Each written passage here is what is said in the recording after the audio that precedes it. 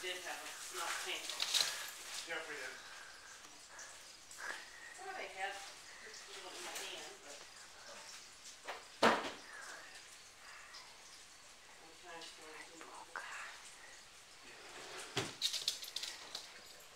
Now, what needs to be done with this mozzarella? On slices.